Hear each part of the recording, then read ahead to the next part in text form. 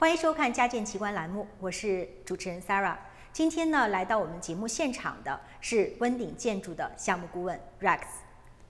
嗨，大家好，我是 Rex，很高兴又和大家见面了。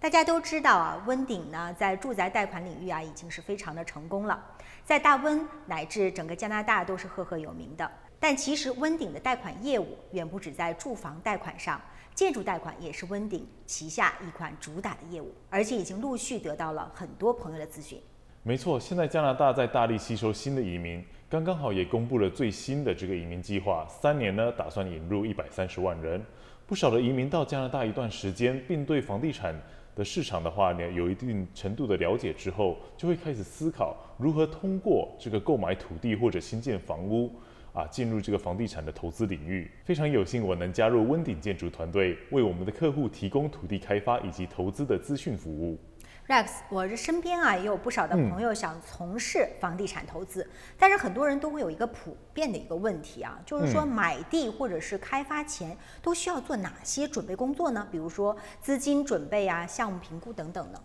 对，我会建议客户呢，最好一开始不要上来的话就直接找地。土地开发是一种非常具这个技术性的投资，跟所有的这个投资一样，你最好的话呢，一开始就先了解自己本身的实力，包括你的风险偏好啦，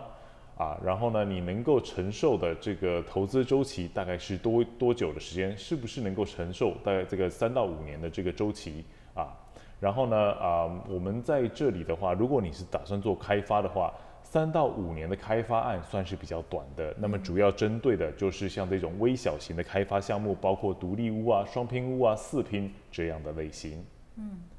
另外呢，在这个开发过程当中呢，当然也有一些可预测和不可预测的状况，比如说市政府的审批时间、气候的变化、材料的价格、库存以及市场的走势等等。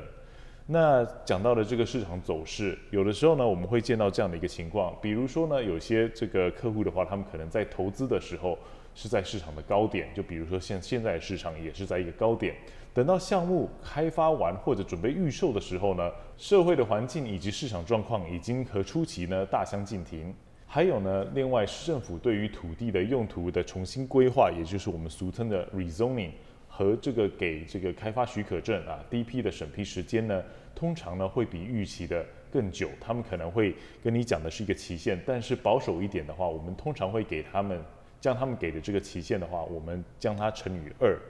那这样的话呢，就可以做一个比较保守的这个时间预测。嗯。那还有呢，就是说啊，这个投资者对于这个年化率的预期啊，也就是这个这个 return on investment 或者说 rate of return。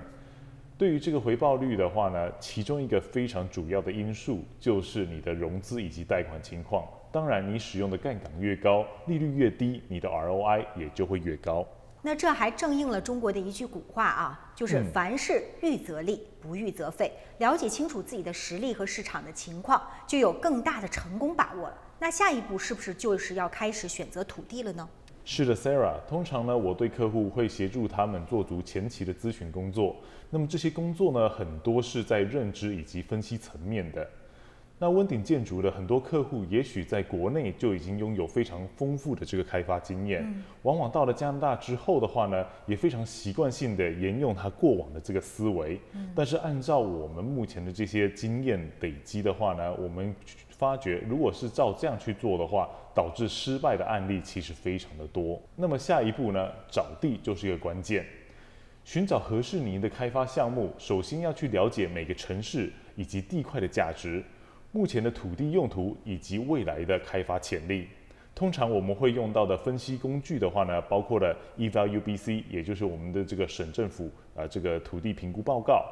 啊，然后跟这个市政府的。啊，交互式地图 （Municipal Interactive Maps），从这上面的话呢，你可以得到更多的这个地块的这些资讯。那当然还有土地用途规划细则，也就是 Zoning by Law，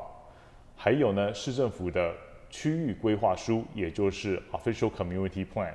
以及呢我们会建议的话呢，啊以当地的这个市政人员啊进行沟通以及咨询。那我个人的话呢，会特别的建议，当你跟市政府的人员沟通的时候的话。千万不要单单只靠口头咨询，你可以用这个 email 的方式，嗯，那这样的话呢，至少你可以留个案底。嗯，讲得非常的详细啊，而且非常的专业啊。选对适合投资的土地项目是成败的关键啊。前期的调研工作啊是重中之重的。那 Rex 啊，你们温鼎的建筑会帮客户做哪些调研工作呢？一开始的初步调研工作的话呢，包括我们清楚一下这个土地它的这个过往的一个销售记录，嗯啊，然后再过来的话呢，我们查查看这个土地的话，在 OCP 上面它上面规划的用途。那么这一块土地上面的话呢，是否有这个地役权啊，也就是 easement，是否有土地的这个通行权啊，right of way？土地上的建筑物的话呢，是不是 heritage house 遗产屋？地块呢是否触及河域保护区？那地块呢是不是河漫滩，也就是我们英文所称的这个 flood 啊 flood plain，又称为呢红泛平原？那还有呢，再过来土地有没有可能可以进行分割 subdivide，以及有没有涉及到树木保留的问题？那如果说目前的这个土地上面的物业里面有租客的话呢，我们也会详尽的了解目前的租租约的这个内容以及细节。嗯，看来这个前期调研的工作还真的是特别多啊。嗯啊，那这么需要注意这么多的细节，有没有一些特别具有挑战性的问题呢？其实我觉得目前来讲的话，最具挑战性的话就是 heritage，也就是遗产屋。因为呢，就比如说在温哥华的话，只要是一九四零年以前所建造的话，或者在一九四零年范围啊所建造的话，都有可能会被列入这个 heritage。那么在高贵林的话，就是一九四七年之前的。那么举个案例的话呢，在啊温哥华的话呢，在啊丹巴区的话，有一个这个电影院。嗯，那这电影院的话呢，是建于一九四一年的，它是等于是算是硕果仅存的这种老式电影院其中之一。哇哦，对，那像之前的话，有客户的话呢，在呃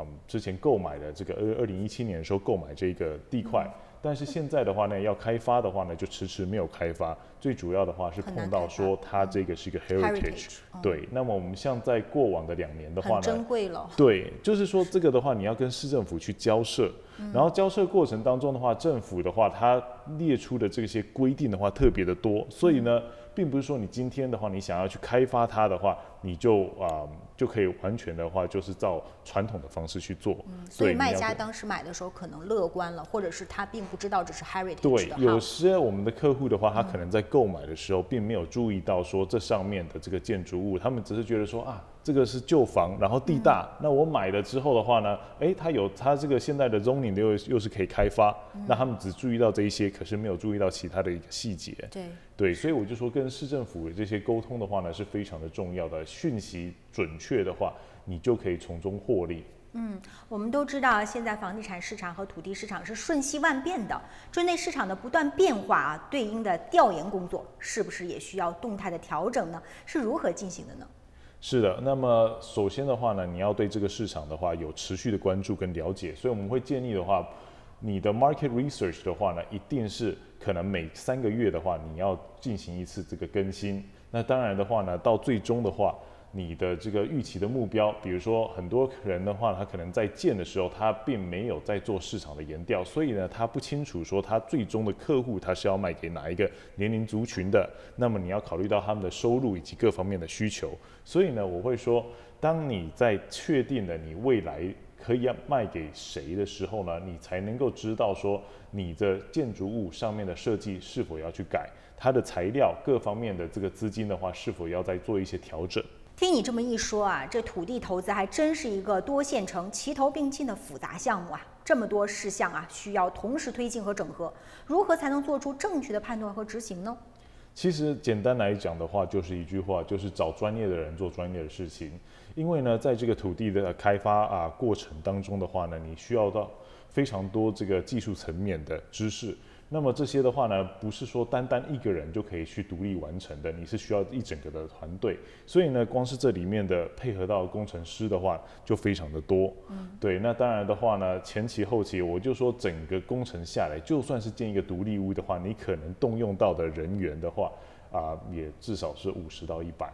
啊，这个是是经常会有的，因为你有不同的在建房的过程当中，你还有不同的 traits，嗯，啊，那前期准备工作的话呢，你有这个，比如说我们讲的这个啊，建筑师啊，设计师啊，啊，园艺师啊，啊，包括这个 geotech 这些等等的，所以呢，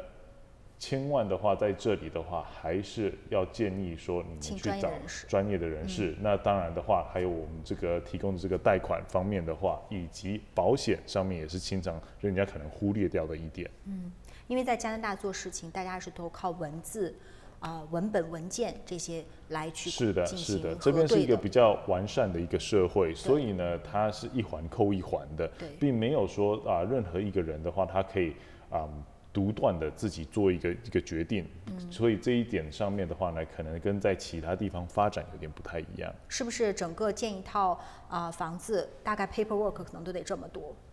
对，paperwork 非常多，嗯。然后呢，就是说在你建筑的过程当中，当然也是要配合政府的这个政策，他们会不断的派人去做定期的这个审批跟检测，啊，那你要层层都能够过关之后的话呢，才能够拿到最后的这个入住许可。非常感谢 Rex 啊，给我们全面专业的分析。相信为观众朋友们，如果是对土地投资和地产项目的开发感兴趣的话，都跟我们节目组联系，和 Rex 本人联系。那我们这期节目就到这里，我们下期再会。拜拜。